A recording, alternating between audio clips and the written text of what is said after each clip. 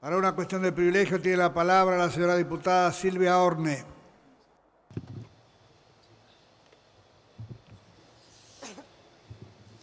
Gracias, presidente. Eh, quiero hacer una cuestión de privilegio contra el Poder Ejecutivo Nacional y el ministro de Comunicación, Hernán Lombardi, por haber violentado la división de poderes y haber sobrepasado sus facultades al proceder a desguazar TELAM.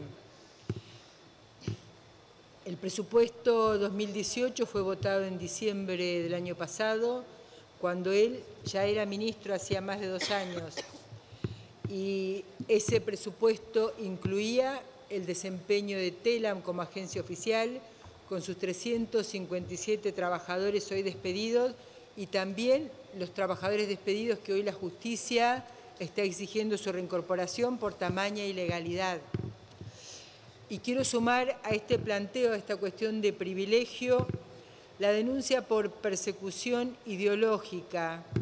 En los propios dichos de los funcionarios de TELAM, del, ministro mismo, porque la discriminación está prohibida, no se puede despedir trabajadores por cuestiones ideológicas, no solo lo prescribe así nuestra Constitución, sino también la OIT los tratados, los acuerdos que ya tenemos signados como nación. Hemos presentado también un proyecto de resolución donde pedimos el tratamiento de este tema y la reincorporación de los despedidos.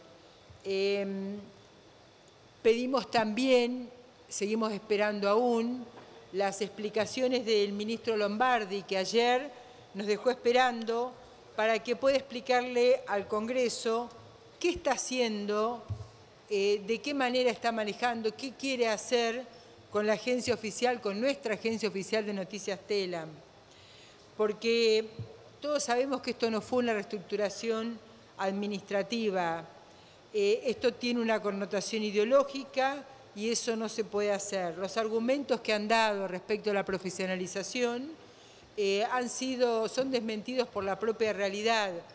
No hubo una evaluación, no hubo una planificación, no hubo una proyección de lo que se quería y no hay reestructuración posible que deje en la calle al 40% de la planta funcional.